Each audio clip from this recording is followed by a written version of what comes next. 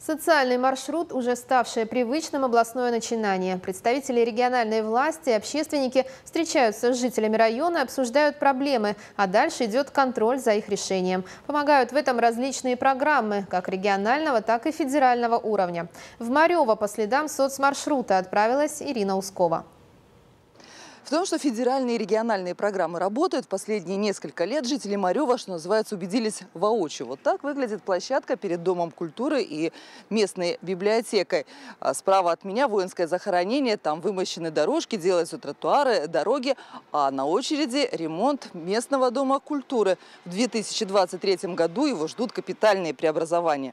А сейчас преобразуются еще недавно заброшенные пустыри. Благодаря проекту поддержки местных инициатив взрослым жителям деревни Моисеева удалось воплотить мечту ребятишек со всей округи. Установка современного спортивно-игрового комплекса вдохновила на новые идеи. Очередная победа в конкурсе продолжит благоустройство площадки. Здесь мы планируем вот, на, вот сюда, в эту сторону, установить уличные тренажеры как для взрослых, так и для более старшего возраста. Здесь мы уже это. Это будет у нас второй этап. Но мы планируем еще на 22 год. Мы не останавливаемся. Новый импульс к развитию получил и Маревский стадион в этом году по программе «Газпром детям». Здесь построили мини-арену. Администрация вложилась в установку площадки для сдачи ГТО, а местные предприниматели привели в порядок футбольное поле. И мы хотим и в дальнейшем развивать эту инфраструктуру и создавать и э, тропу здоровья, и чтобы это было и летом, и зимой удобно и комфортно, и чтобы каждый из наших жителей не чувствовал разницы в сельской местности он или в городе, где все объекты большие, красивые и доступны. Вот такие же красивые это и наши объекты.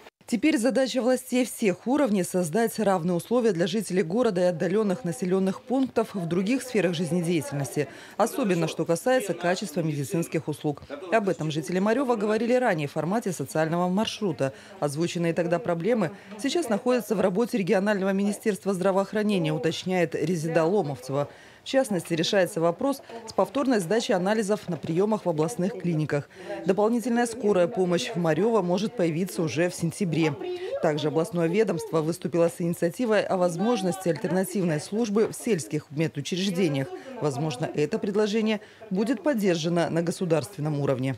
Все граждане, которые сегодня эм, здесь присутствовали на социальном маршруте, имеют понимание, что они могут в рамках э, стратегии э, значит, развития Новгородской области написать свои предложения, свои, свою проблематику, и она найдет отражение в рамках решения стратегии области.